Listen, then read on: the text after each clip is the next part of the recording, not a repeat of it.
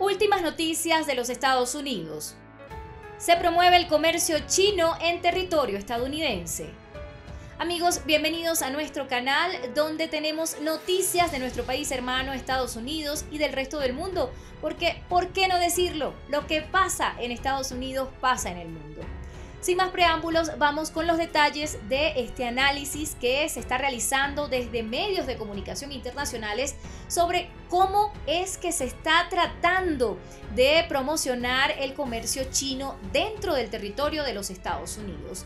Y es que mientras la Comisión de Bolsa y Valores continúa señalando estándares de auditorías muy estrictos para las empresas chinas que cotizan dentro del territorio estadounidense, desde China, desde el partido, se ha estado reuniendo en privado con empresas de Wall Street para lanzar fondos de inversión de propiedad exclusiva en el mercado de capitales chinos.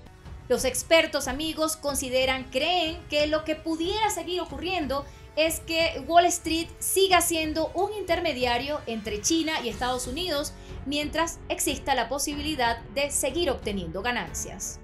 Examinemos un poco la información que presentan algunas agencias de noticias. Se señala, por ejemplo, que la empresa de inversión de Wall Street, Neuberger Berman, fue aprobada oficialmente por la Comisión Reguladora de Valores de China para convertirse en el tercer fondo mutuo de propiedad totalmente extranjera que opera en China. El acuerdo fue prometido por el Partido Comunista Chino durante una mesa redonda financiera privada entre China y Estados Unidos, que fue celebrada en Internet en línea con ejecutivos de Wall Street recientemente.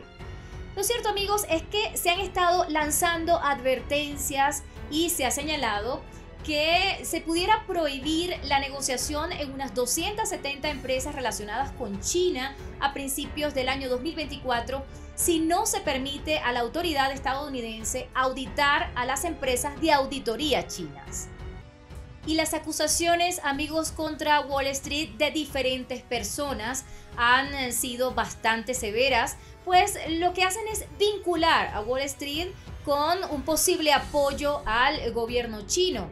De hecho, Mike Son, un asesor de inversiones privadas con residencia en Estados Unidos, indicó que la mesa redonda financiera China-Estados Unidos es un acto de apoyo prácticamente de Wall Street a Beijing ha señalado además que el capital busca beneficios especialmente en una economía libre y los actores de Wall Street actuarán inevitablemente como intermediarios en su propio beneficio. Otro experto, Frank Tsai, profesor de la Escuela de Negocios de la Universidad de Carolina del Norte, también ha hecho una observación similar y en una entrevista que le hicieron recientemente a través de un medio de comunicación estadounidense, dijo que esa mesa redonda privada no era la primera vez que los ejecutivos de Wall Street y los reguladores del Partido Comunista Chino presuntamente se habrían confabulado. Wall Street dijo, y escuchen esto, ha estado apoyando financieramente a China durante años y lo ha blanqueado en Occidente. Hasta aquí amigos este reporte informativo. Nos interesa muchísimo que dejen sus comentarios, sus opiniones sobre esta información, que además son sumamente valiosos para nosotros. Hasta una próxima oportunidad.